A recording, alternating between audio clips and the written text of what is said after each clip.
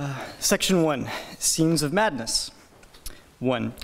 Tony Perkins wrote that out for me. He actually wrote out two. He wrote out the number 2 Corinthians. I took exactly what Tony said, and I said, well, Tony has to know better than anybody. 2. I don't want to get into it. It's very personal. You know, when I talk about the Bible, it's very personal. So I don't want to get into verses, I don't want to get into it. The Bible means a lot to me, but I don't want to get into specifics. 3. Proverbs, the chapter Never Bend to Envy. I've had that thing all, my, all of my life where people are bending to envy. 4. Well, I think many, I mean, when we get into the Bible, I think many, so many. And some people look an eye for an eye. You can almost say that. Uh, that's not a particularly nice thing, but you know, if you look at what's happening to our country, I mean, when you see what's going on with our country, how people are taking advantage of us, we have to be firm and have to be very strong.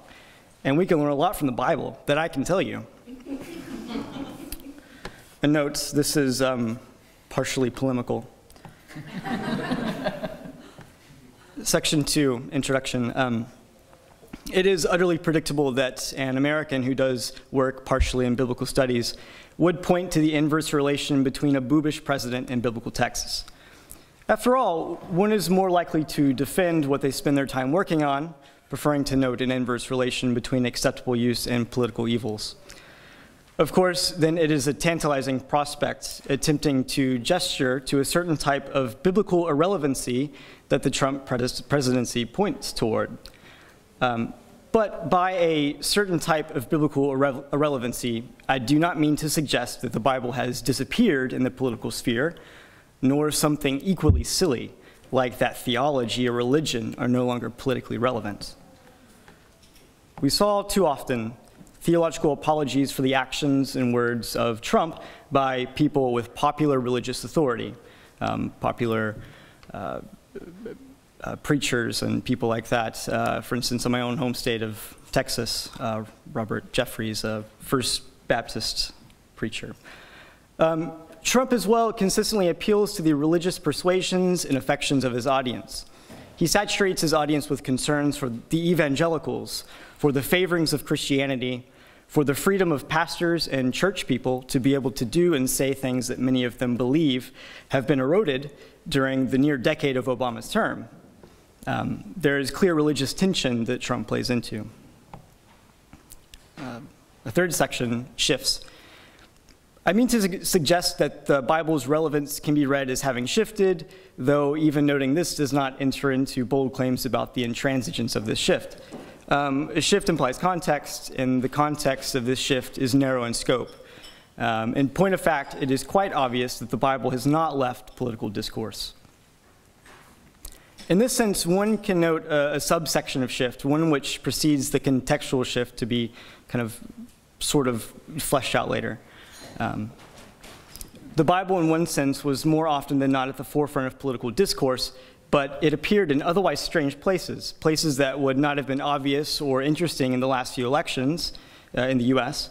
Um, regularly, images of Jesus are used in political left discourse, uh, particularly in memes that attempt to either make a serious point about how a particular understanding of, for instance, Jesus' ethic would work out if transposed into the 24th century. Um, you know, nothing too novel, as this is par for the course in public discu- uh, discussions of ethics in the West. Or in memes that parody a conservative Jesus, who, for instance, withholds health care because a lame man's inability to work, um, or who asks for money before feeding the 5,000. This shift, perhaps an example of the radical Bible that James points to in British politics, is only a relative shift, um, seen as an intensification because of conservative atrophy and the ease of media dissemination in the world of social media. Um, of course, the radical Bible tradition hasn't been utilized effectively in any major US elections that I'm aware of, um, except maybe recently um, much less presidential elections, despite some gestures by people like Bernie Sanders to the ethos of Jesus. Um, he spoke to Liberty University, for instance. And yet, it cannot be ignored that presidents uh, in the US, from Obama to Bush to Clinton and beyond, have used biblical materials in support of principles, especially broadly American principles. Bush frequently employs biblical materials, not to mention theological ideas, to supplement his speeches. He frequently mixes in biblical motifs and imagery, talking of a light on a hill, um, or utilizing the familiar Samaritan parable. Clinton, uh, Bill Clinton, as well, was quite open about his relationship to the Bible and his own faith, even employing, if sometimes in a bit of a convoluted way, verses from the Psalms or Proverbs. And Obama, as well, often quoted from the Bible, um, whether from you know, Matthew or you know, famously from 2 Timothy during, I believe, uh, maybe the, the National Day of Prayer, I, I, believe it was, or maybe it was the National Breakfast Prayer, whatever it's called.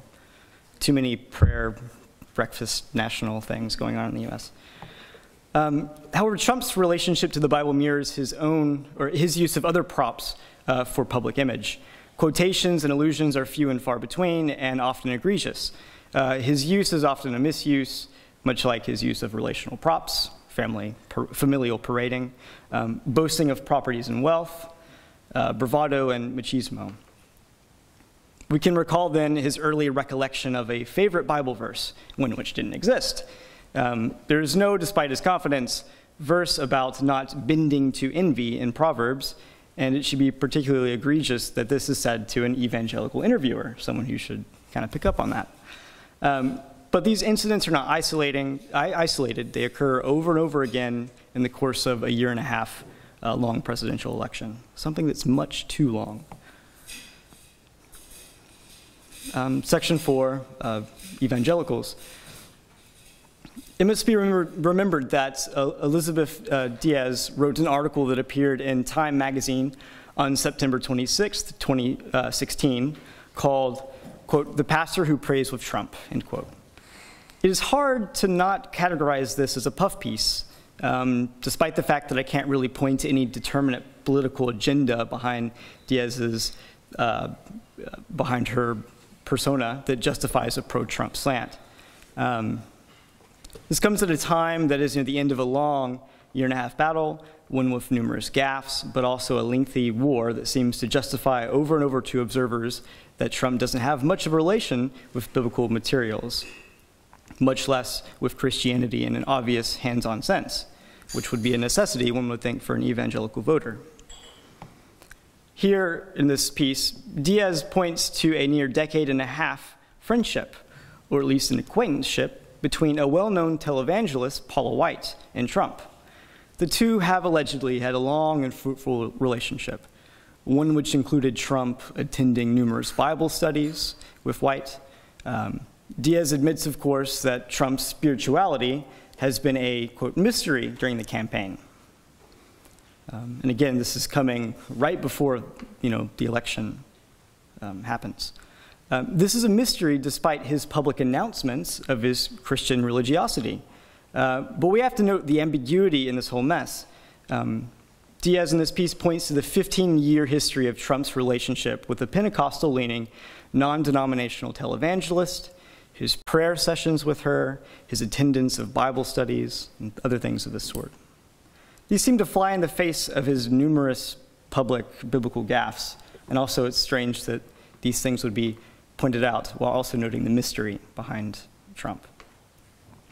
Um, but about these gaffes, we recall his not knowing the usual name, way of naming some biblical texts. And at the quote at the beginning, you know, of course, he defers blame onto someone else um, um, his fabrication of texts, his refusal to name his favorite texts, uh, and an almost absolute, absolute lack of biblical references, much less relevant or carefully picked ones, um, though they do occur some after the campaign. Um, they can be heard when he stays on track, sticking to prompts um, in some recent speeches, but they do not come natural as they seem to with Bush, Clinton, or Obama. Despite all of this, Trump is baptized. Here there is a, a subtle shift, a shift from the Bible being a political tool that occurs naturally to the politician, one that the politician wields as a weapon of persuasion, to a political tool utilized by the supporters of the politician. Um, Christianity imposes its imperial substance, baptizing the hapless fool while also fooling itself, thinking it has truly converted the savage. We recall the often used evangelical defense of Trump Um, he is only a baby Christian. He is just learning how to be like Jesus and how to love the scriptures. But we have always read what we want to into our politicians. After all, Obama was the paragon of leftist virtues, despite, being a raging neoliberal who continued usual American foreign policy. Section 5. What shift does it matter? To continue on with this comparative game, uh, to try to gesture to a shift that I can't quite name or put my finger on, I think requires noting that the Trump that with Trump, it is precisely because he doesn't proof text the Bible that he doesn't have a Bible in the same way that someone like Thatcher or Corbyn or Obama or Bush, to, to name a few, did. We find a peculiar political uh, authority in glances towards texts, even when they don't show up in the places we would expect a politicized text to. Bush's biblical authority come from his public religious life, his autobiography, his continual use of biblical figures like Moses or books like Acts um, to underwrite his story, no matter how self affirming and gratuitous the use of these texts may be. Trump, however, uses the Bible as a political piece, but is largely evacuated of similar uses. The Bible is a sort of hollow prop um, to be held and thrust in the air, as he often did. Um, he eschews a stronger oral dimension um, that one sees or one hears in other leaders who have utilized the Bible. The words, the phrases, the stories that remind, catalyze emotion, and call forth an imaginative aspect for the especially evangelical listener are absent. But at this late stage, I have to admit the ambiguity, and in fact, the contradiction between my early inclination, um, put quite strongly about shifts in the Trump era. It isn't proper to speak of a shift in the Trump era because this era has been in flux since June 2015 when he began his race, straight out of the gate with an eye fixed on the evangelical contingent, a subset that he overwhelmingly won. Despite the overall lack of comparatively biblical references, allusions, and motifs in his campaign, he has deferred to the safer route, finding time to quote verbatim some passages during very specific post campaign moments, um, most notably um, his inauguration and the National Prayer Breakfast um, back in February, where he quoted, Greater love hath no man than this, that a man lay down his life for his friends. Um, it is only now that, we, that he begins to make tendentious connection between perhaps starting a formation of a Trump Bible, where values are connected to texts, such as in the National Prayer Breakfast, where this quote that he references uh, is you know, gesturing to a soldier who was martyred for the cause of American freedom, as he might put it. Well, he wouldn't put it that way, but. I'm not sure then uh, what we can actually say about Trump's Bible, but it seems clear that if it materializes, if it ceases being a specter, it does so in a very public way, and it does so over time. It isn't thrust upon the scene in a mature state, like some of his people that came before him, but instead is, like Trump himself, quite clear in its own strange imperfections that seem to call to the initiated like a moth to the flame. And that's it.